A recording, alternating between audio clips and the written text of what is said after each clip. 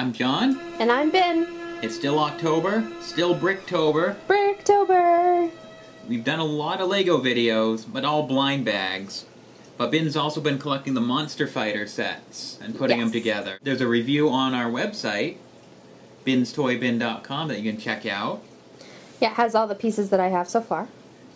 And we got a big one in the mail from Amazon. Woohoo! So excited!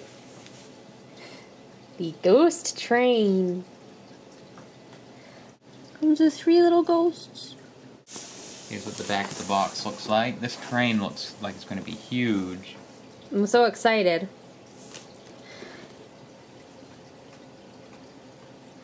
So on the Lego website itself, it has all the information about all these monster fighters, what the storyline is behind them, and games that you can play with them.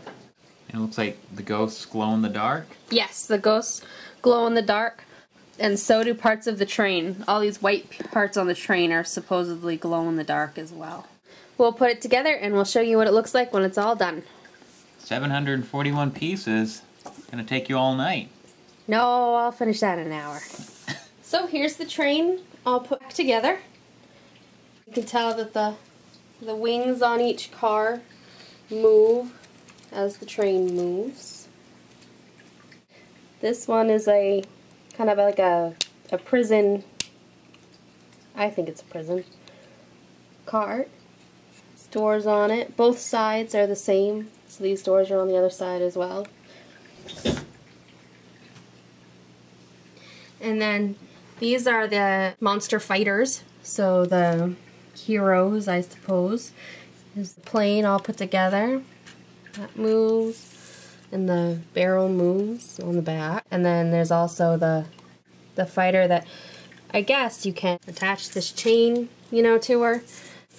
She's jumped out of the plane, woohoo, and she's going down to attack the train.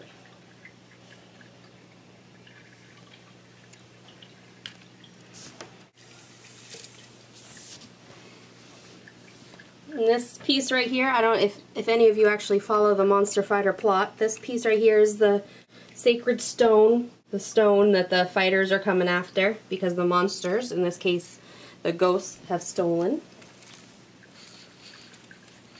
And there is a little ghost driving the train in here.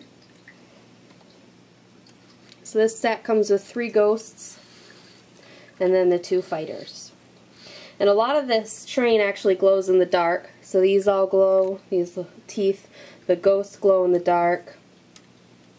The face on the front of the train, that glows in the dark as well. If you liked our review of the LEGO Monster Fighters train, be sure to subscribe to our channel Like and comment and follow us on Twitter. at Bin's Toy Bin. Happy Halloween, everybody.